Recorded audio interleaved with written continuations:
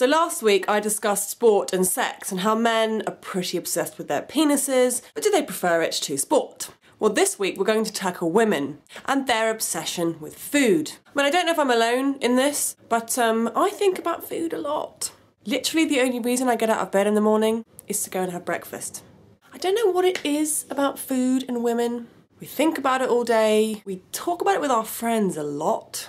And you know, we're always seeing celebrities in magazines or on the internet with their ridiculously flawless bodies that are completely unattainable to the normal person. So, you know what? I say, fuck it. You go have that chocolate brownie, because it's fucking delicious.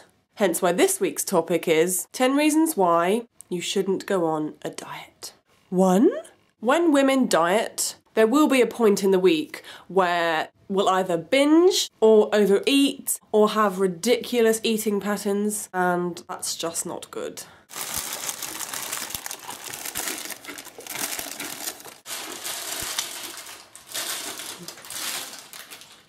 Two, diets are fucking boring. Food is delicious. And normally, the types of food you restrict yourself from eating when you're on a diet are the most delicious. Pizza, spaghetti carbonara, nachos, lasagna, pancakes, baguettes. The list is literally endless. Three? Okay, this is a bit more of a serious reason. They're generally not very effective. I mean, you can literally starve yourself for weeks, months. Then the moment your diet stops, you're going to overcompensate, probably end up putting the weight back on. Mm, four? You should really learn to like the way you look and be confident with it and just love yourself. You know what? Fuck it. I'm going to tell the world. I'm Emily and I love myself! Five. There's a lot of guilt when you're on a diet. Food literally turns into your enemy. Do you want a chocolate? No. Go on. Just a little bite. Stop it! But I'm so delicious. Oh my god, that's delicious! Six. Diet has the word die in it. That cannot be good. Seven.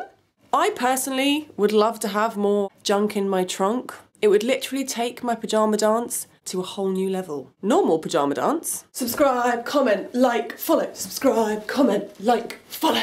Pyjama dance with booty.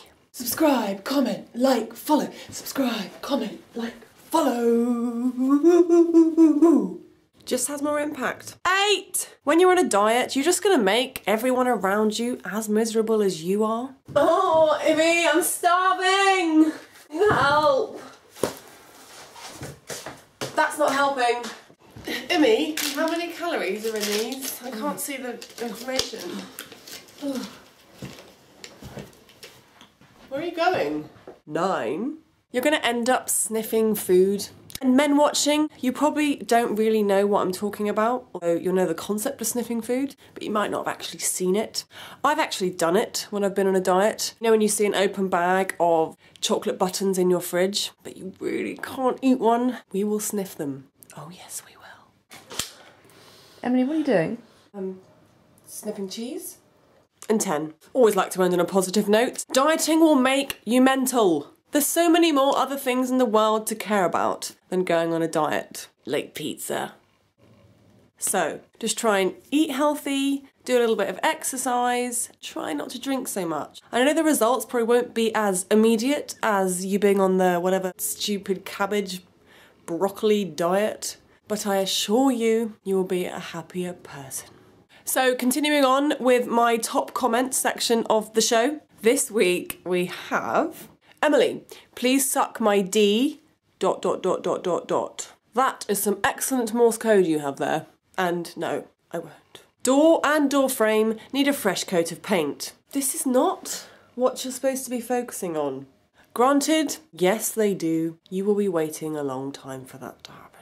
Oh, look, it's suburban fuckface. I don't really even know what that means. You know what? Talking about all this food has made me starving. I might just go and sniff some chocolate.